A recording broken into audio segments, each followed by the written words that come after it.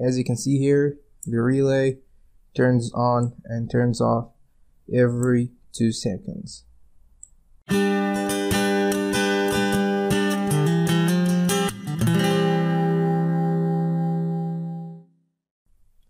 Hi guys and welcome to this quick tutorial. So in this tutorial I'm showing you how to control the relay module from your Arduino. So I'm using a 5 volts DC relay module that we created in our previous series on relay PCB. So the first thing that I want to do is declare the pin number that I'm going to attach to the relay module. So int relay underscore pin and I'm going to make it pin 3 all right and in the setup function we want to state the uh, mode of the pin right so this pin is obviously going to be an output pin because we want to output um, a, a, high signal to our relay or a low signal to our relay right?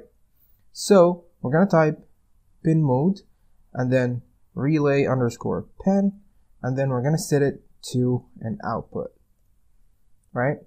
And then in the loop function this is the code that that is going to be executed uh, forever on this uh, Arduino board. So the first thing that we're gonna do is actually turn on the relay wait for two seconds and then turn off the relay and just repeat this process right? So we want to call the function digital write and then we're gonna give it our pen which is the relay underscore pen and then comma we want to set it to high so that to turn the relay on and then we want to make a delay of 2000 milliseconds or two seconds right and then we want to digital write relay underscore pen but this time low to turn it off. And then we want to also make a delay of two seconds. And guess what? That's it. So this code will basically turn on our relay for two seconds, which means that it's going to turn on the device that is controlling. And then just waits for two seconds and then turn it off, waits for two seconds, turn it on, and so on and so forth. So what we're gonna do now is plug in the Arduino to our uh, computer and then go to the tools, the board, make sure we choose the board. I'm using Arduino Uno, so it's checked right here. And make sure that you select the port of your Arduino and then you're good to go. You're just gonna hit the upload button and then that's it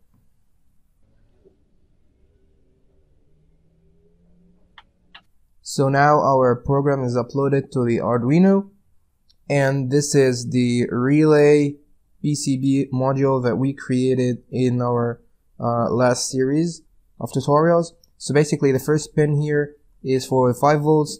This is the ground and this is the control signal that's going to turn on and turn off the relay. And here we have the connections for the relay the normally closed the normally open and the common so we want to connect the uh, 5 volts uh, for the relay with the 5 volts of the Arduino.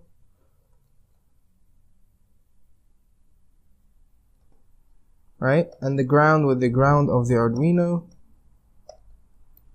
Oops. Just like that. All right and as you can see here the relay module starts um, working so we're going to connect the control signal with digital pin number three as we um, put in our code so this is zero one two and three right so as you can see here the relay turns on and turns off every two seconds. So that's it guys for this tutorial and thanks a lot for watching.